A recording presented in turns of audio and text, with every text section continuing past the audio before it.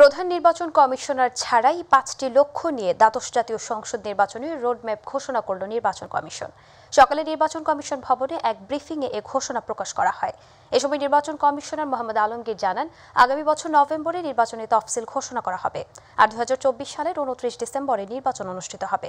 গৃহীত কর্ম কর্মপরিকল্পনা সঠিকভাবে বাস্তবায়ন করা গেলে দ্বাদশ নির্বাচন সুষ্ঠুভাবে করা সম্ভব বলেও জানান তিনি।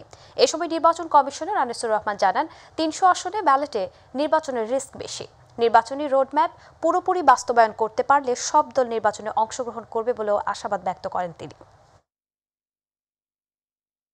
আমাদের দায়িত্ব আমাদের কাছে, আমরা সেটা দেখব। সরকার, পুলিশ আমাদের নিয়ন্ত্রণে থাকবে, সেটাই বলা হয়েছে। এবং আমরা এই কথাও বলেছি আমরা যদি দেখি যে আমাদের দায়িত্ব আমরা সঠিকভাবে পালন করতে পারছি না যে মুহূর্তে থেকে, সেই মুহূর্তে আমরা দায়িত্ব পালন করব না। যেহেতু ইভিএম এ আগে পরে ভোট দেওয়ার সুযোগ নাই, দাম ভোট দেওয়ার সুযোগ নাই, সেই জন্য আমরা আমরা পারলে আরও বাড়াতাম। কিন্তু আমাদের তো ট্রেনিং দেওয়ার সময় নাই। ফান্ডের বিষয় আছে।